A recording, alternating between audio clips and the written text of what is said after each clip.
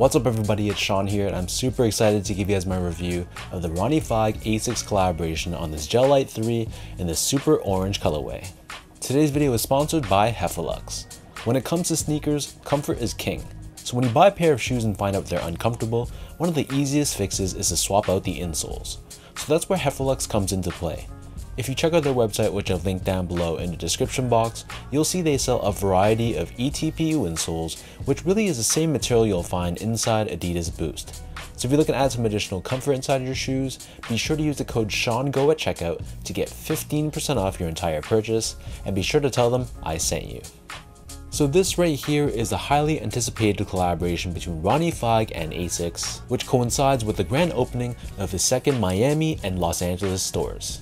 So this pair, which is nicknamed the Super Orange colorway, released earlier this month, and it was also sold in-store at Kith's brand new Beverly Hills location.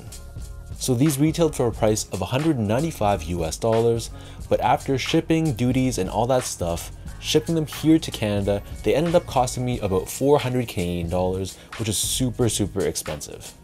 Anyways, so that's besides the point, lesson learned. The official colorway for this shoe is Pumice Stone and Orange Tiger, and officially on the box at least, this shoe is named the Gel Lyte 3 07 or 2007 Remastered, and the reason for that is because Ronnie Fieg and ASICS worked together to alter the look of the Gel Lyte 3 to bring it back to the exact specifications of how the Gel Lyte 3 looked back in 2007. So that year is significant because that was the first year that Ronnie Fieg and ASICS first collaborated together. And I guess it's natural that over the years and over time, brands will sort of alter the silhouette. So a lot of the Gel Lyte 3s you see on the market today don't have that same look that they looked back in 2007. So everything from adjusting the height of the shoe to the angles of certain components and the height of the mudguard for example, all those things were recrafted. And I have to say in hand this shoe looks really really good. And why the shoe is nicknamed the Super Orange colorway is actually because in the past, Ronnie and ASICS have released colorways in that similar fashion, for example the Super Red, the Super Blue, and Super Green, and what that more or less represents is a more muted base with one loud splash of color. So in this case, orange is that splash of color, and the two are also releasing a super yellow colorway as well, which will coincide with Kith opening their second store in Miami. So with all that being said now, let's dive into the details of this shoe. So starting things off with the toe box, you can see this is covered in this light gray colored nubuck, and this nubuck is completely perforated. Overlaid on the front toe cap, we have more of a darker tan colored nubuck, and on the lateral side we have these two windows revealing this reflective silver 3M layer underneath. And I wanted to point out that the toe box shape looks really really good, it has a nice gradual slope to it, and it tapers off looking so so good in real life. Moving downwards, covering the eyelets of the shoe, we have more of that light gray colored nubuck, and then the middle two eyelets are done in a darker gray TPU. Beneath this on the mid panel, we have more of that perforated nubuck, and then overlaid on top of this, we have the signature ASICS stripes, which done in this vibrant orange colored synthetic leather with a backing of reflective silver 3M underneath. And then in between this in the middle, we have this rubberized netting, which is done in a tonal gray colored finish. Beneath this, we have more of that darker tan colored nubuck, and the same nubuck wraps around the bottom of the heel as well. And then debossed on the lateral side only, we have Gel Lyte 3 branding. Above this, in the middle of the heel, we have another layer of reflective 3M, along with the word gel done in orange, and this netting overlaid on top of it. And then the top of the heel is covered in that light gray nubuck, and we have ASICS branding pressed on in orange as well. As far as the laces go, so these come with three different lace options. The standard or default lace is a flat style lace in this light gray or light tan color, but they also give you a secondary rope style lace along with a third white colored flat lace as well. For me, when I think of Ronnie Fieg and ASICS collaborations, my mind automatically goes to rope laces, so that's what I'm probably going to stick with with this release. Underneath the laces, of course being a Gel Lyte 3, we have that signature split tongue, and it's covered in this nylon-like material on top. Embroidered on the lateral side, we have Fieg, which is done in this tonal finish. And then as far as the interior of the shoe goes, compared to recent Gel Lyte 3s, I found that the inner liner of the shoe is a bit beefier. Taking out the insole, so these come with a thin foam insole, it's covered in this tonal light gray colored finish on top, and we have ASICS and Kith branding stamped on the heel in orange. And if you take out the insole, this was kind of interesting. I don't know if recent Gel Lyte 3s are done in the same way, but for this particular release, you can see that it's actually board lasted. So the upper of the Gel Lyte 3 sits atop this full-length EVA foam midsole, which is painted in white on the forefoot and the back of the heel, but done in more of a cream color in the middle. We have ASICS branding found on the lateral side, and above this on the heel, we have a TPU heel counter, which helps to give you additional structure and support for the back end of this shoe. And encased within the sneaker but not visible to the eye, of course this being a Gel Lyte 3, there is gel technology which helps with impact protection and shock absorption. Finally, turning this pair over to the bottom, so the outsole here is done in rubber in a combination of this light gray color and orange in the middle. And you can see right in the center, we have ASICS branding. So that breaks down the look and the construction of this pair. And for those wondering about sizing, so my feet measures as a true size 10, slightly on the wider side, and in years past, and I'm talking maybe 10 years back, I always found that the Gel Lyte 3 fit a little bit snug, so I used to prefer going up a half size to a size 10 and a half. Nowadays though, I feel like Gel Lyte 3s fit a lot more true to size, so I can go with a size 10 no problem.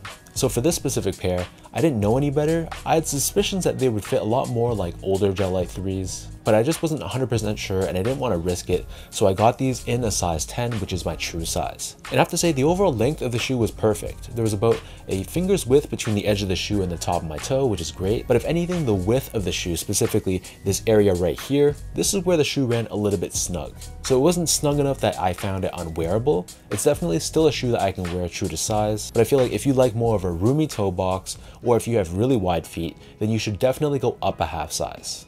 I also found sticking true to size, it was a little bit difficult to close up the tongue. So because it was so snug in there, unless I really laced it up tightly, it would expose a little bit of a gap in between the tongue.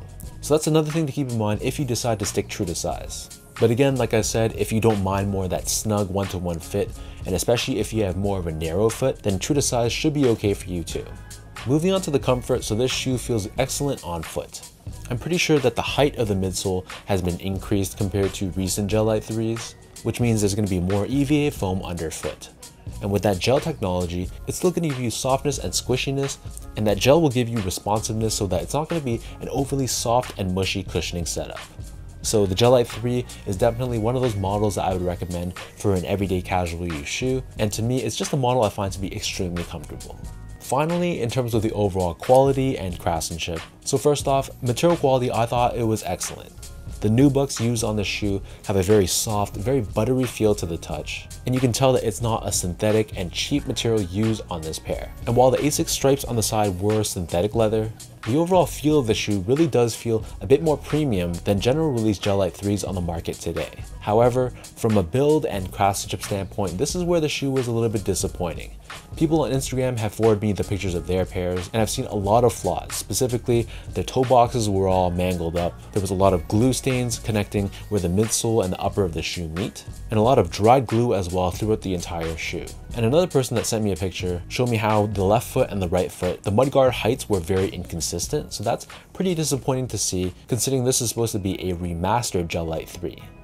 Luckily for me, my pair wasn't that bad at all. It did have some dried glue on the upper, and there were a little bit of glue stains on this midsole area, but the overall shape of the shoe was great. The panels on my pair were cut consistently, so hopefully for those who bought these online, your pair wasn't as bad as some that I've seen.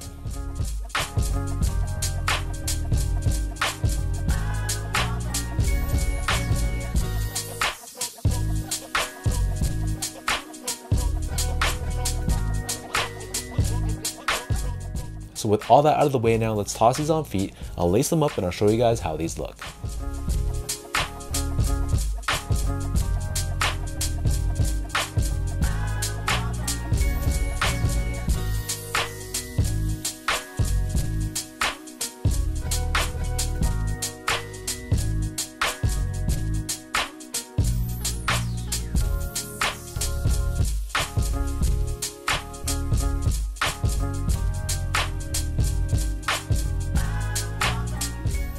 Overall, I'm really stoked to see this 07 build of the Gel Lyte 3 return. And while this is obviously not the flashiest collaboration, it's a shoe that a lot of pure ASICS fans or Kith fans would truly appreciate. It has a good mix of being muted enough that you can rock these with a lot of different outfits, but the orange is really bright and vibrant, which gives it that splash of color that I think it really needs. And personally for me, I think this is a great addition to my collection, and I'm looking forward to adding the super yellow pair to my collection as well. So let me know in the comment section down below what you guys think about this Ronnie Fieg and Asics Gel Lyte 3 in the super orange color. What are your overall thoughts on the execution and the colorway for this shoe? And for anyone watching, did you buy a pair of these? Did you take an L and pay resale for these? Or did you just pass on them altogether? If you guys like this video, be sure to like, comment, and subscribe to my channel if you haven't yet. You can follow me on Instagram at sgo8, follow my Twitter account at sean.go, and visit my website at seango.ca. So until next time, thank you everyone for watching. Hopefully you guys enjoyed this review. Thank you so much for your continued love and support, and I'll catch you guys all in my next video.